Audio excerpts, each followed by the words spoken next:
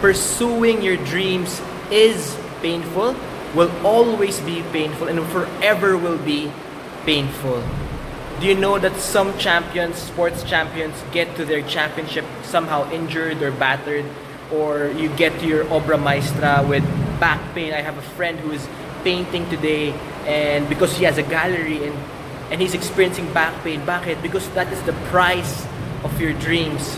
Today, I am having a goal of being healthier since November 2017, and this October, I'll be competing for kettlebell competition. And all I have to do is train three to four times a week. Why? Because that is the price of the dream to be healthy and to compete. And I love it because you know all my life and in pursuing my dreams like for example um, looking for clients masakit um, you get rejected they, you get judged and it's really sometimes you want to give up. Or sometimes when I was writing a book uh, there were times that I would give up.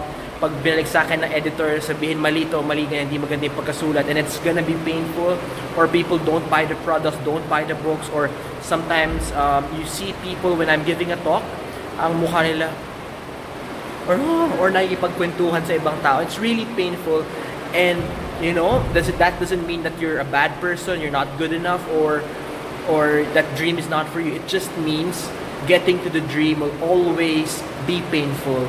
And ikaw ba na sa buhay mo ngayon na mahirap, lahat ng pinagdadaanan mo ang bigat, or people are just, you know, giving up on you, not supporting your dreams, or just judging you all the time, or parang yung closest people pa sa buhay mo, sila pa yung biggest detractor, sila pa yung biggest critics.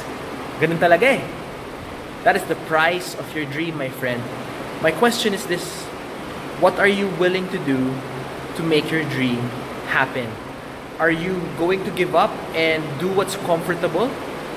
Or will you endure the pain, keep walking, keep going forward, kahit duguan ka na, kahit basag-basag ng ngipin mo, basta umabot ka sa pangarap mo.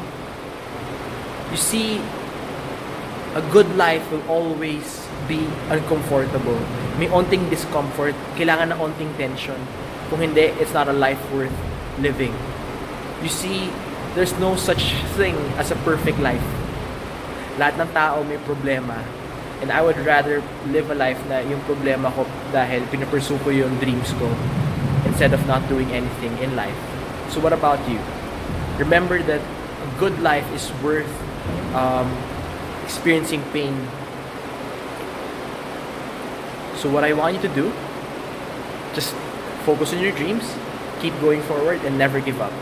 Thank you for watching Overcomer. My name is Japo Hernandez, and the best is yet to come. God bless you. Oh, please tag, like, comment, share.